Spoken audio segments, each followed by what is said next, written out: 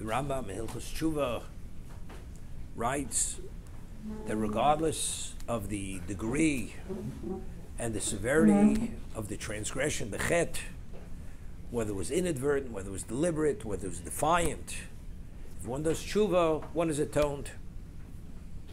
However, based on the severity of the chet, tshuva alone is not enough.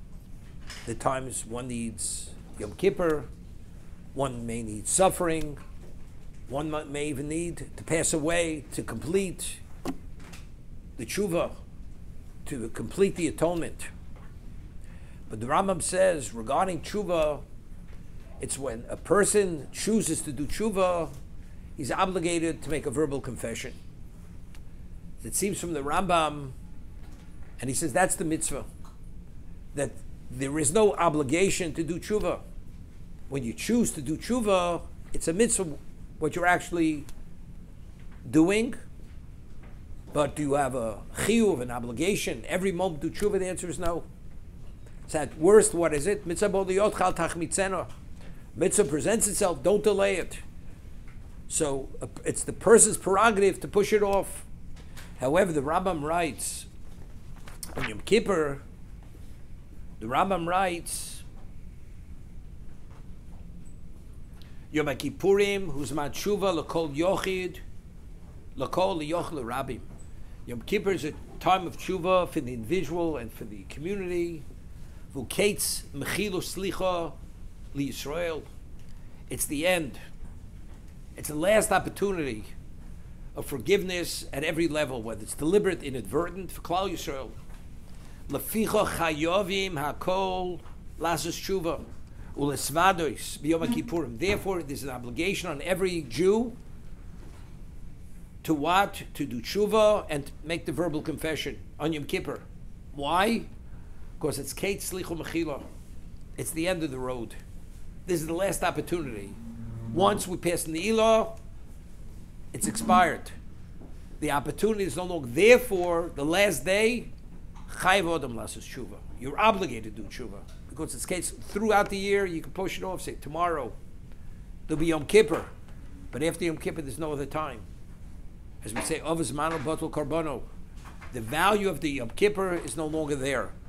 It's the last day of the Aser Shmi Tshuva. Dirsha Hashem Bimotzu, Karobi Yosakorov, the most intense level of Rachmim is on Yom Kippur. So therefore, Hashem wants you to take advantage of that last opportunity. If one does not, one is actually, he's violating a positive commandment. It says, Lefnei Hashem Titoru. Before God, you should purify yourselves. That is the chiyuv, that's the obligation, but it's rooted because it's Kate Slichu Mechila. So let's understand now Hashem wants us to do tshuva. As we say in the Nusach, the text of the bracha, bracha to Hashem, harotzeh b'tshuva. In the bracha of tshuva in Shemon Esrei, but we conclude, Hashem wants us to do tshuva. On Yom Kippur, Hashem wants us to do tshuva. Why does He want us to do tshuva? Because it's Kate Slichu. Because it's the last opportunity to be forgiven. It's like a parent wants his child to take advantage before it's too late. Because once it's too late, it's over. That particular opportunity is no, no longer there. Therefore, Hashem, the relationship is Avla Ben, a father to a child. Hashem wants us because it's Ket Slicha Mechila. But what happens now if a person does not do tshuva? What is it? It's such a level of disrespect. Here Hashem has offered you that you're able to relieve yourself of every level of debt, regardless of the extent of debt as long as you do tshuva and you make the verbal confession. And a person chooses to what? To be distracted, not to be focused, or he doesn't value the opportunity. It's a level of affront, and that itself is sin, is a sin. The day of Rachmim, which I once mentioned the name of the Shalom Kodosh, that really on Yom Kippur, the laws of Shabbos and Yom Kippur are identical. The 39 creative activities not permitted on Shabbos are not permitted on Yom Kippur.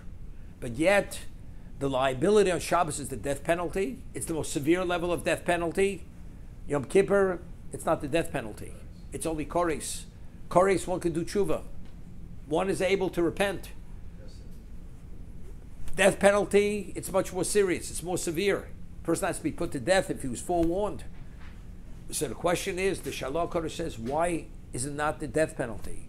See, he explains because the Midas HaRachmim of Yom Kippur is so overwhelming, it does not allow the person to have his life taken. That's the, that's the intensity, overwhelming level of Rachmim which is on Yom Kippur. So here HaKadosh Baruch Hu is giving us an opportunity because it's Kate Slichum Mechila and a person turns his back on this.